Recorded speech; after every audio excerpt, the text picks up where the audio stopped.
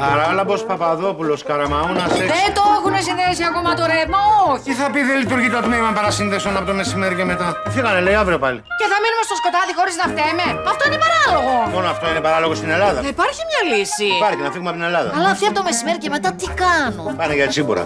Μην αρχίζεις τη μουρμούρα. Δεν στενεύασε η μάνα σου. Σκοτώσω. Πώς τις ψηφιοποίησε, αφού αυτή είναι άσχημη.